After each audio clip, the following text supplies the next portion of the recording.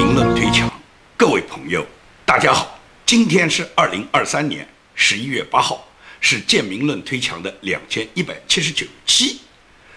前两天，也就是十一月六号，习近平在北京人民大会堂呢，他专门接见了来自全国的所谓凤桥市工作法入选单位的代表。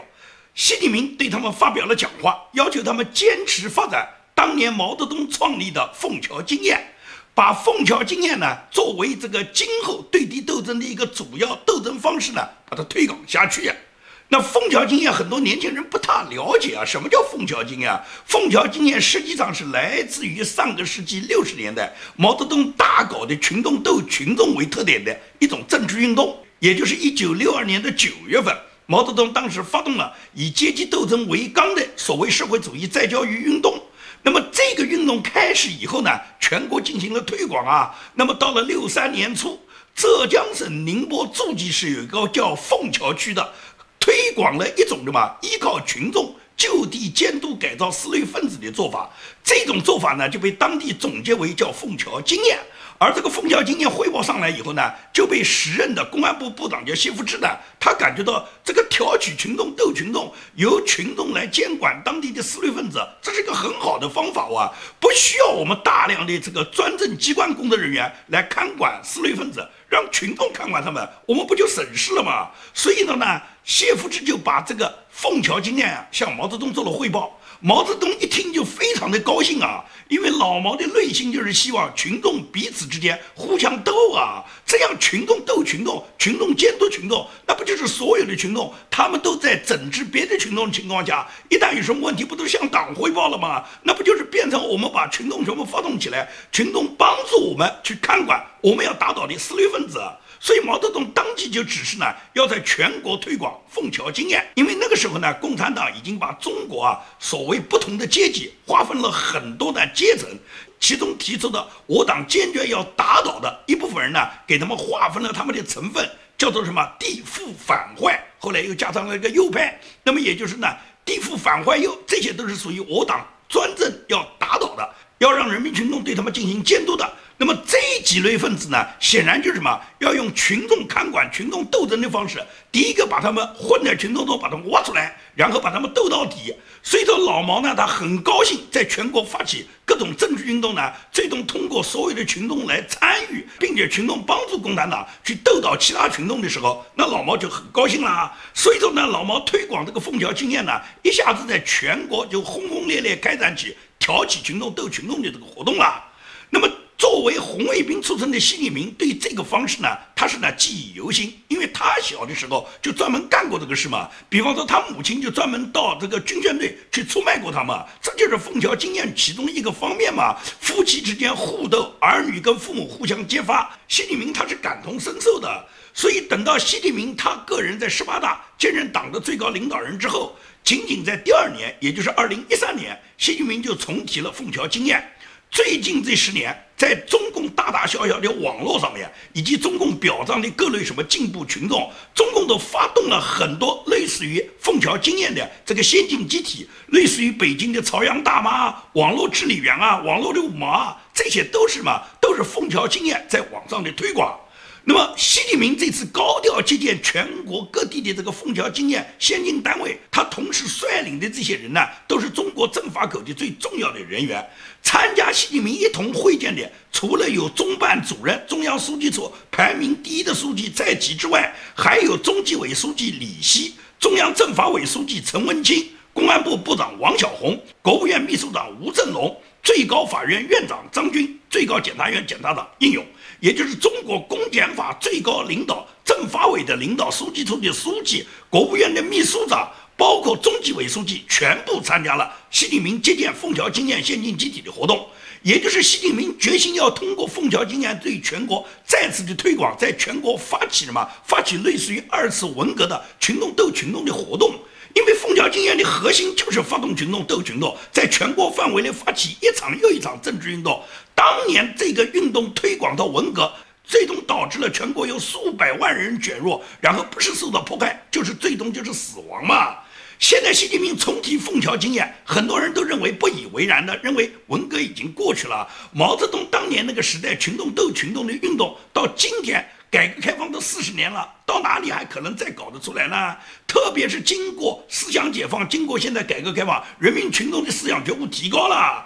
这都是什么普通人呢？你的普通认识，因为虽然大部分人已经厌倦了无休无止的政治运动，但是由最高领导人发起的任何一场政治运动，都会被他的下属、被他的执行者超乎想象的发挥，最后就是一场波及全民的政治运动，在中国大范围内的这个推广，那是不可避免的。首先就从网络上开始嘛。所以说呢，习近平决心在全国再次发起凤桥运动呢，实际上就是什么？通过让群众之间互相监督、互相检举揭发、互相出卖，最终达到什么？最终达到大家都靠拢党哇！因为斗来斗去，谁做裁判啊？那肯定是党做裁判嘛！也就是让你们老百姓互相斗嘛！因为你每天想着要斗别人，又想着要防别人斗，你就不会有心思干别的事嘛！这时候依靠党组织，党叫斗谁就斗谁哇！这是习近平在新时代下，他把毛泽东的凤桥经验在中国呢开始大范围的再次推广。习近平他抓经济他没本事，怎么促进老百姓经济收入水平提高，怎么把国家的 GDP 提上去，他没这个能力。但是搞斗争呢，他乐此不疲。他本身就是毛泽东文革时代成长的那个红卫兵，他念念不忘他少年时期所经受的各种政治斗争，他就希望在他自己现在掌权的时候，在全国再掀起一场以领袖为中心的大规模的类似于文革的政治运动。所以呢，他现在呢就推广凤桥经验，大力开展群众运动，挑起群众斗群众。挑起群众斗群众是共产党执政的法宝，是共产党转移执政党和老百姓之间党群矛盾的最佳方法。中共建政以来屡试不爽，他们每次呢都挑起群众呢，你们争斗起来，一旦群众打得不可开交了，那么谁来当裁判啊？不就是党当裁判吗？一边鼓励群死群伤群斗，你们斗得个两败俱伤；一边呢举报风盛行，夫妻互相揭发，儿女出卖父母，大小领导互相挖坑，各种陷害不断的产生。也就是共产党最喜欢看到老百姓斗得不可开交了，搞乱正常的价值观，人人都。突破每个人做人的底线是共产党治国的法宝。所以说呢，共产党根据他那么多年推广凤桥经验，习近平很清楚，现在对当下的中国马上推广凤桥经验，实际上就是转移目前中国社会啊对李克强死因质疑的最好的方法。习近平从老百姓悼念李克强，就看到了人民对自己政治对手的信任和怀念。同时呢，老百姓对习近平的统治也借悼念李克强呢，抒发了民间长期压抑的一种情绪。如果这种情绪不加快转移的话，最终这个火药桶它闷得越来越长，火山就一定会爆发。当这个质疑声浪越来越大的时候，习近平就很难控制政局了。所以说，习近平知道。就是要尽快的转移出去。他编造了那么多李克强突然发心脏病死亡的这些假的这些谎言，只是包不住火的。李克强的死因绝不是官方糊弄一个什么心脏病突发就忽悠得过去的。目前来讲，虽然李克强的遗体已经火化了，很多人认为一烧就了事了。习近平也认为把遗体告别搞完。整个遗体火化这件事就翻篇了，你们就别问了。但是民间质疑李克强的死，这可以讲就这个呼声不断。现在根据大量的这些心脏病以及心脑血管专家，他们对李克强这个死因啊，都提出了巨大的三个问号，就是李克强的死有三个绝对不可能。哪三个绝对不可能？第一个绝对不可能，作为正国级的李克强，他到上海去是得到中办批准的，因为中共规定，所有退休的副国级以上的国家领导人，你出京到任何一个地方视察也好、疗养也好、去看望儿孙也好，你都必须要得到中办的批准。那李克强显然是得到批准的。那么李克强到达上海之后，立马就到华山医院做了全面的体检。如果李克强在体检的当天就发现有心脏病的话，那医生是无论如何不会同意你去游泳的。之所以能够同意他到上海的第二天就可以游泳，那是因为前一天体检他一切正常，他根本没有什么心脏病，所以医生才同意你要去游泳，你就去游泳了。因此，李克强能下水游泳，恰恰说明华山医院检查的结果，李克强身体是健康的，没有任何心脏方面的毛病。那么现在说李克强突发心脏病死，这种可能性是从哪里产生的？这不是编造吗？第二个不可能就是什么？东郊宾馆是上海最大的，也是最新建造的国宾馆，它完全是按照北京钓鱼台国宾馆的所有配套设施来设计的，有各种各样的紧急配套应急设备和紧急响应的上海顶级医院。也就是说，东郊国宾馆它跟上海各个大医院，尤其是紧急抢救的这些科室都有直线联系，一旦出现问题，都会什么有得到立即的响应。绝对不可能说出了事以后，大家还需要讨论一下究竟要送往哪一个医院。后来说曙光医院比较近，我们就送曙光医院吧。曙光医院这种中医院怎么可能能治心血管、心脏病突发的毛病呢？你想想看，国宾馆怎么可能没有预先的方案呢？更何况还有中央保健局派出的正国级、李克强身边的保健团队呢？这些保健医生、保健护士，他们难道没有基本的保健常识吗？没有这种专业技能，怎么能选拔到中央首长身边做你？的保健医生做保健护士呢？更可疑的就是在上海，当时选送的这个曙光医院、这个中医院都不去附近能够治疗心脏病的这个华山医院和中山医院，这么低级的错误能发生在一个正国级领导人身上，你觉得是可能吗？也就是做出这种决断，可以讲上海一个郊区的村长，他如果突发心脏病都不可能送到一个中医院去啊！所以这种解释是完全什么？完全不符合逻辑的。这是指第二个不可能。第三个不可能就是东郊宾馆它有直升飞机的停机坪的。如果是真的发生突然的心梗的话，那么作为保健局的医生护士，他们手边都有各种强心药，至少是硝酸甘油是肯定准备的，因为硝酸甘油立即口服是马上就可以缓解他的心肌梗死的。那么就争取了各种抢救时间，只要是立即服用硝酸甘油，马上通过调动直升飞机把他送到上海最好的医院，这种抢救时间是完全来得及。为什么当时没有这么去做？也就是不断的拖延，最终李克强呢，等他送到医院的时候，人都已经挂掉了。也就是如果突发心脏病发生在一个普通平民老百姓身上，即使是他因为抢救不及时造成的死亡，这种概率都比较小。更何况正国级官员碰到这种突发心脏病，然后有那么强大的一个保健团队，又在国宾馆里面，居然六十八岁的总理就抢救不过来了。这种情况怎么样，在正常人身上都不可能发生，怎么能发生在一个正国级领导人身上呢？这唯一的解释就是，要么有人下毒害死了他，要么就是医生不负责任，事前检查没有查出来，他确实有心脏病突发的这个症状。那么在突发心脏病后，如果有人故意拖延抢救时间，直接放任他死亡发生的结果，那最终李克强他不死也得死啊。所以说，无论从医学角度，还是从中共高官的保健系统来说，这种事情发生的这个概率几乎是为零的。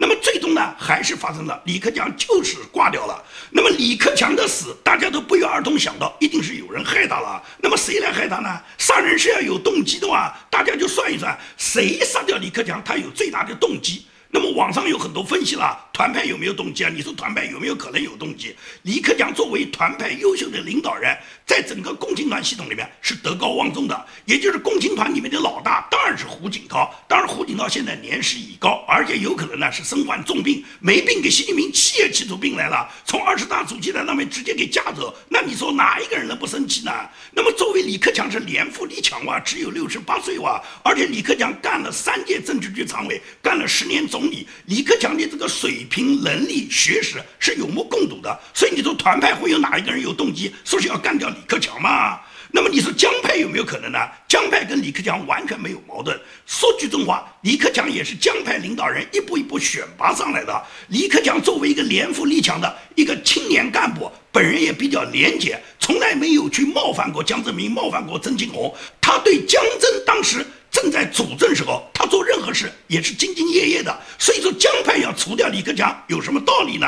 那唯一就是习近平嘛，因为习近平这个家伙睚眦必报嘛，习近平才会有这个动机嘛。也就是说，如果说要干掉李克强，只有习近平有动机。这就像谁要除掉普里戈金，只有普京有动机，这个不是一样的这个道理吗？那我在过去的节目里面多次讲过，李克强呢对习近平最大的隐患呢，就是他本人就是一个隐性的储君。那么虽然他现在已经退出中央常委会，但是习近平如果突然暴毙而亡，那么就会有大量的人推举李克强。更何况什么？如果有谋反的军队、谋反的高官，他们一旦把习近平拉下马，那李克强成为第一个国家最高的领导人，这种呼声是最高的。当初在二十大之前不断的讲的西夏礼上，那么就是推崇李克强，而这种西夏礼上，习近平不可能没听到这个呼声，他心里面对李克强是相当嫉妒的。老子把你干掉，我看你还往哪上？习近平对于他来讲，李克强的存在就像于三胖他哥哥金正男之外，先把金正男干掉了，那谁还在拥戴金正男？谁还想去最终谋反，然后把金正恩拿掉以后换上金正男呢？所以习近平也是这样想嘛。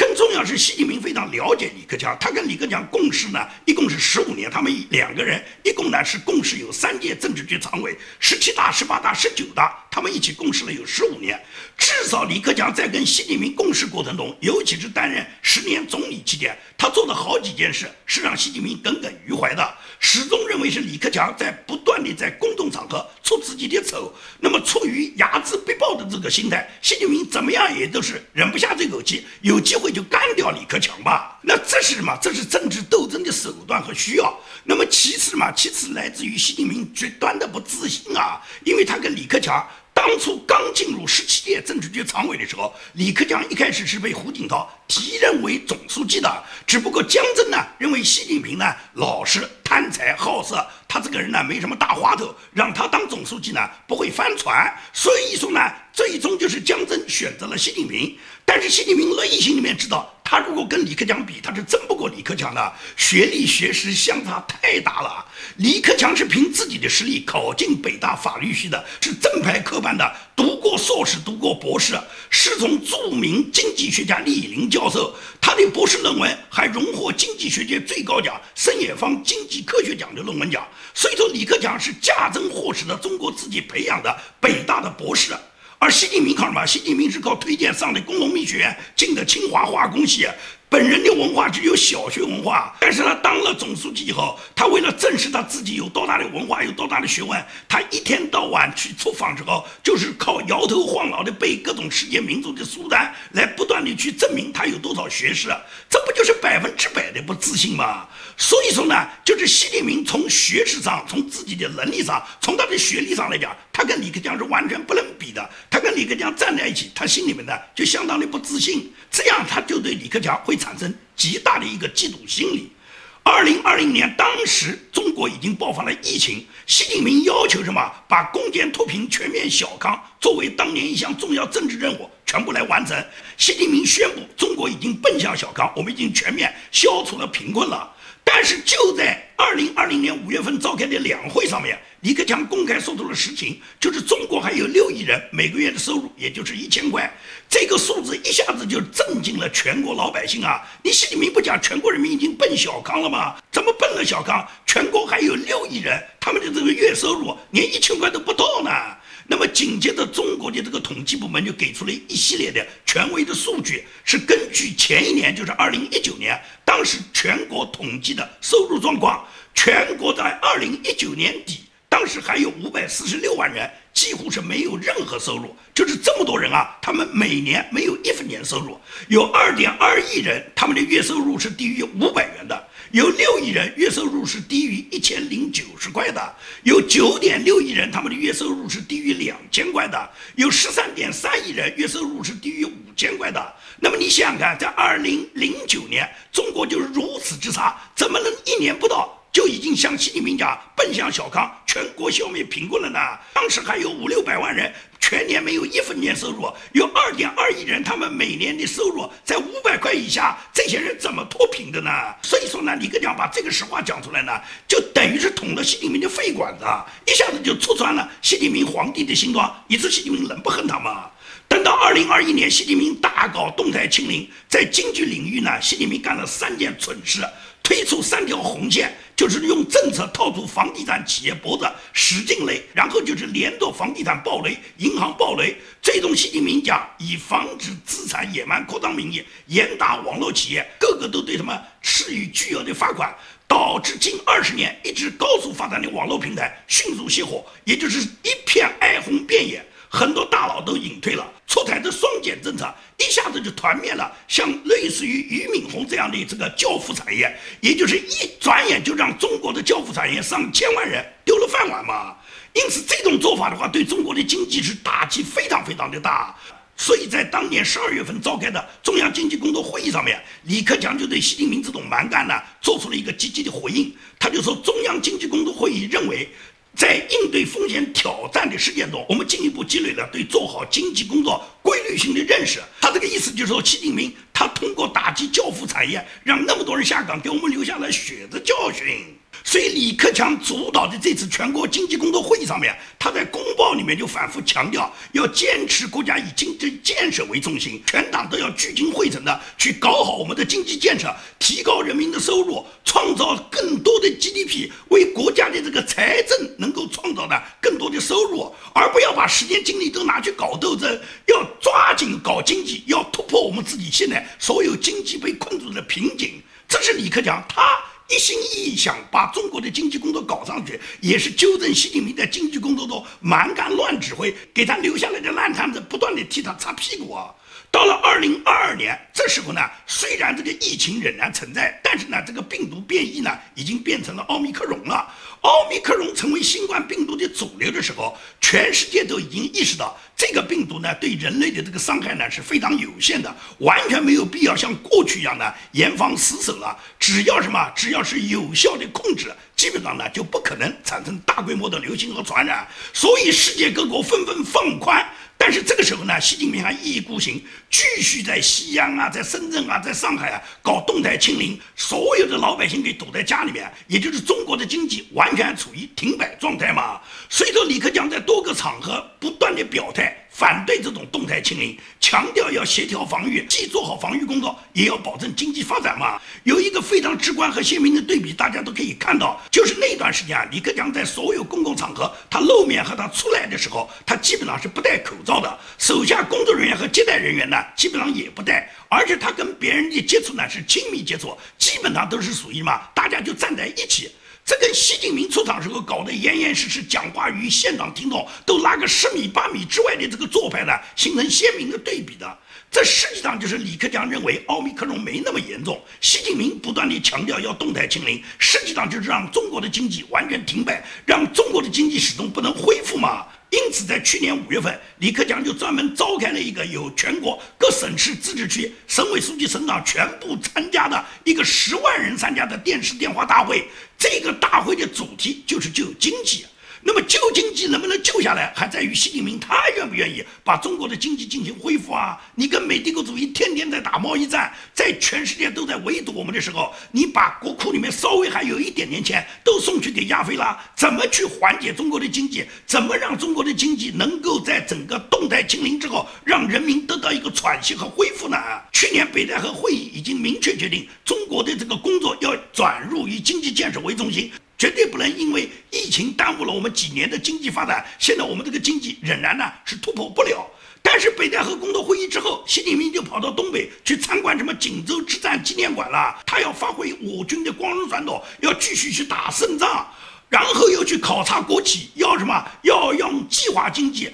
要用供销社，要用大市场来替代当时国家想逐步恢复的市场经济，而李克强是跟习近平完全唱反调，他立马南下直奔深圳，在深圳大讲改革开放不会停留，黄河长江不会倒流，还特地跑到莲花山给邓小平塑像去献花去，也就是李克强这一系列做法，都是向外面提供了这么一个信号，就是中国的经济是一定要发展的。长江黄河不会倒流，不会因为有人阻碍长江黄河，最终我们这个河水就倒流了。那么，不管习近平对李克强他心里面是怎么不痛快，那么习近平最终达到目的了，在二十大上面把李克强、汪洋全部劝退了，把他自己那几个武大郎开店的草包伙计，什么蔡奇啦、李强啦、丁薛祥啊，全部拉到政治局常委，让那个年富力强本来就已经是政治局常委，完全可以再做一届，没到七上八下的线嘛，就是李克强、汪洋完全可以再做一届的嘛，把他们全部赶出政治局常委，让他们提前退休了。结果李克强退休还没到。半年，现在就直接因为心脏病就挂掉了。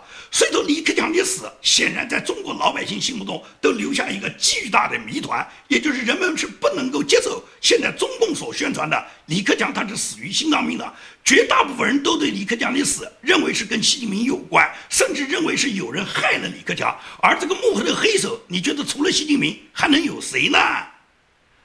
好，今天的节目我就跟大家说到这里，谢谢大家。